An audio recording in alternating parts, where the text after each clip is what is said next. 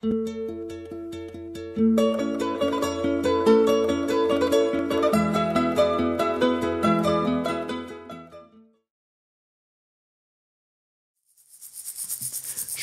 cicala su quel ramo, smettila di cantare.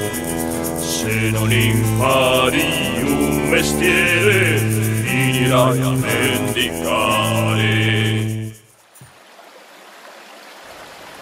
Cari bambini, questa è la storia di Federica la formica. Federica era una giovane formica operaia.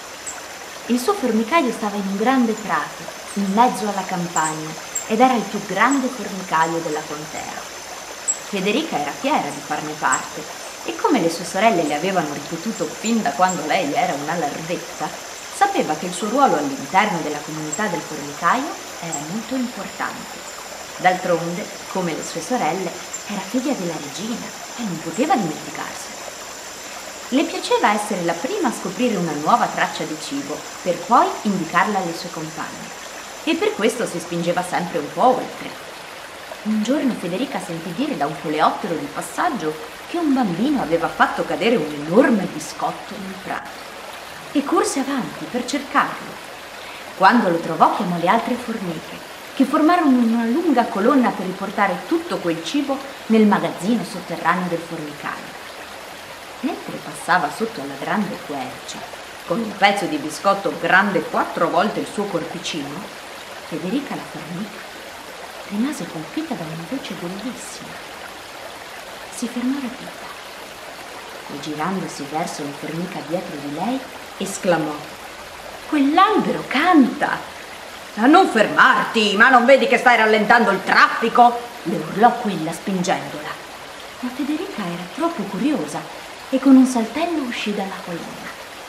Mentre osservava l'albero canterino vide una folla di piccoli e grandi insetti al semicerchio, intenti ad ascoltare quelle note bellissime.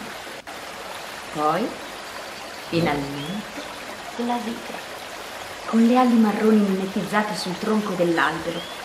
Non era l'albero che cantava, ma una cicala.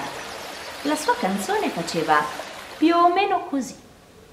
Amico, mi dispiace tanto, ma io quest'oggi non me la sento di smettere questo canto. Il cielo oggi nasconde il suo blu, non nasconderti anche tu. Canzoni, canzoni, per pochi spiccioli canzoni. Canzoni belle, canzoni tristi, canzoni brutte. La vostra canzone è solo per pochi spiccioli, signori, solo per pochi spiccioli. Federica si avvicinò sempre con gli occhi sgranati. Non aveva mai sentito niente del genere nel suo formicaio. La cicala sorrise nel vederla e le disse: Vieni, riposati qui con me all'ombra di questa quercia. Ti insegnerò a cantare. Ma Federica si girò ad osservare la colonna indaffarata di formiche alle sue spalle e le sembrò che le sue sorelle la guardassero con rimprovero. Il tuo canto è molto bello, ma se non faccio la mia parte, quest'inverno non avremo scorti di cibo a sufficienza. E tornò di malavoglia verso la colonna in marcia. Ma questa è la mia parte, rispose la cicala mentre la formica già si allontanava, confusa tra le altre, sotto il suo enorme biscotto. E io la sto facendo! Venne l'autunno e poi l'inverno. Federica la formica se ne stava tutto il giorno sottoterra con le sue sorelle operaie. Beh, non si poteva certo dire che facessero una vita divertente. Anche se di lavoro ce n'era, perché c'erano sempre nuove aree del formicaio da restaurare, le mancava uscire alla scoperta di posti nuovi. Un giorno, in cui il freddo era ormai molto rigido e la terra era ghiacciata, la formica sentì di nuovo la bellissima musica della cicala. Si affacciò all'ingresso del formicaio e la vede, infreddolita e affamata, che cantava vendendo le sue canzoni in cambio di qualche granello di cibo. Vedendo la giovane formica le disse, Cara formica, tu hai orecchio per le cose belle. Lasciami entrare e restare un po' al caldo nella vostra grande tana. Ma prima che Federica potesse rispondere, una delle sue sorelle si affacciò alle sue spalle e disse alla cicala, Noi abbiamo faticato tutta l'estate per costruire questo formicaio e riempirlo di scorte di cibo, sapendo che prima o poi l'inverno sarebbe arrivato. Tu che cosa hai fatto?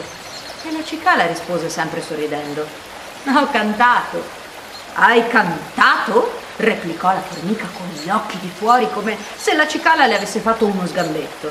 E adesso balla! E afferrò Federica tentando di riportarla giù nella tana. Ma Federica non si mosse.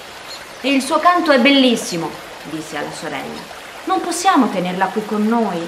Le scorte di cibo sono abbondanti e la noia è mortale. Ma quella non l'ascoltava. E se non la facciamo entrare, la cicala morirà di freddo, provò allora Federica. La formica allora si fermò, si girò verso la cicala e disse, E voi bambini, cosa pensate che le disse? Invitiamo voi ad immaginare la fine di questa storia, a scriverla oppure a fare un disegno e mandarcelo. Sappiamo che avete una grande immaginazione. A presto! Ciao bambini!